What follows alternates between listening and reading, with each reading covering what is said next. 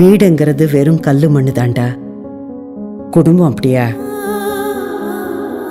Great sir இந்த காலத்துல கூட ஒரு ஜாயிண்ட் ஃபேமிலியா இருக்கிறது ஒரு ரேர் சைட் இன்ட்ரெஸ்டிங்கான விஷயம் என்னன்னா நீங்க உங்க ரெண்டு பசங்களை தான் ஃபேமிலின்னு இன்ட்ரடியூஸ் பண்ணீங்க. கடைசி பையனை பத்தி ஒரு வார்த்தை கூட பேசவே இல்லையே.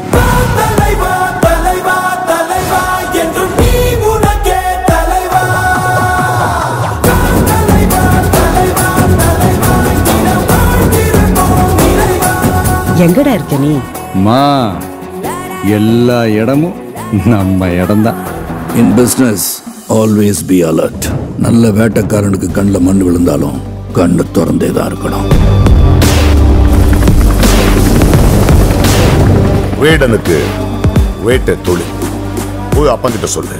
இந்த சீட்டோட ஹீட் என்னன்னு இனிமே தான் பார்க்க போறேன். பவர் சீட்ல இருக்காது சார் அதுல வந்து ஒருத்தன் உட்கார்றான்ல. அவன்கிட்ட தான் இருக்கும். நம்ம பவர் அந்த ரகம்.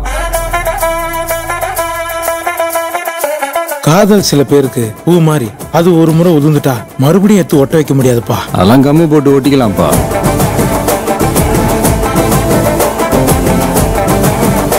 இனிமேல அடி மேல அடி மேல அடி. மேல அடி மேல அடி விழுந்துட்டே இருக்கும். இந்த வீடு என் கண் முன்னாடியே உடைஞ்சிட்டு இருக்கு நீ என்னை தாண்டி எங்கேயோ போயிட்டடா. மாமே அன்போ அடியோ எனக்கு கொடுக்கும்போது கொஞ்சம் யோசிச்சு கொடுக்கணும். ஏன் சொல்லு? நீ எதை கொடுத்தாலும் அதை நான் ட்ரிபிளா திருப்பி கொடுக்கணும். உனக்கு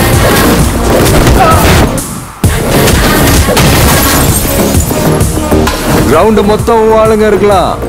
ஆனா ஆடியன்ஸ் எல்லாரும் ஒருத்தனை மட்டும் தான் பார்ப்பாங்க. கேள்விப்பட்டிருக்கியா? ஆட்ட நாயகன்.